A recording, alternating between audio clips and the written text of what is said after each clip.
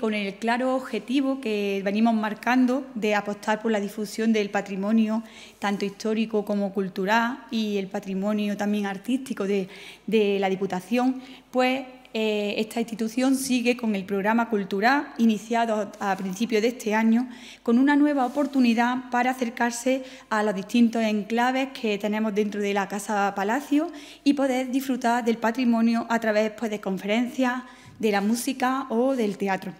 Para este trimestre se han programado dos actividades que están directamente relacionadas con dos personajes contemporáneos que dejaron un legado importante en la historia cultural y artística de Córdoba. La primera actividad está enmarcada dentro del ciclo que hemos llamado Piezas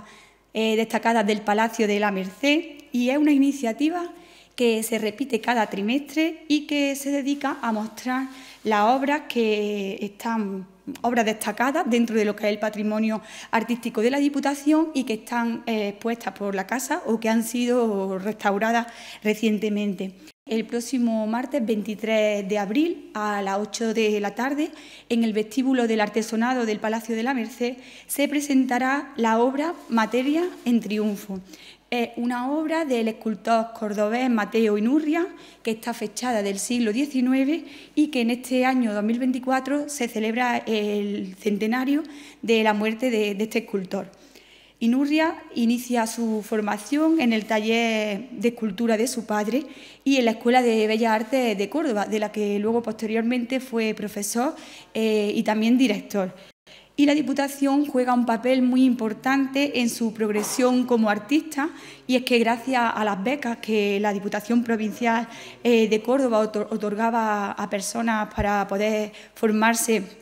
artísticamente, pues puede comenzar su estudio en la Escuela de Bellas Artes de San Fernando de Madrid y posteriormente, eh, también con el apoyo económico de la Corporación Provincial de aquella época, pues puede viajar a Italia y a París, donde consolida su carrera artística. La obra será presentada por el profesor e historiador Ramón Monterruí, que es especialista en la vida y obra de este escultor. Bajo el título de Concierto de Primavera, el 8 de mayo a las 9 de la tarde en la iglesia de la Merced, aquí en la iglesia del Palacio de la Merced, pues eh, tendremos un concierto homenaje al compositor cordobés Cipriano Martínez Rucker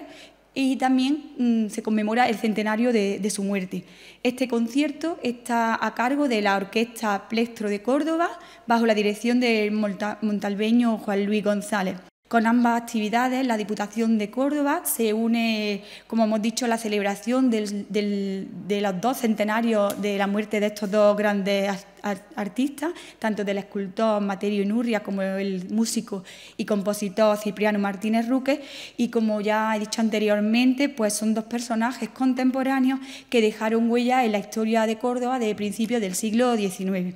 Todas estas actividades, junto con las visitas guiadas que se vienen celebrando todas las semanas, pues tienen entrada libre para todas aquellas personas que quieran conocer el patrimonio de la Diputación y bueno, hasta completar el aforo.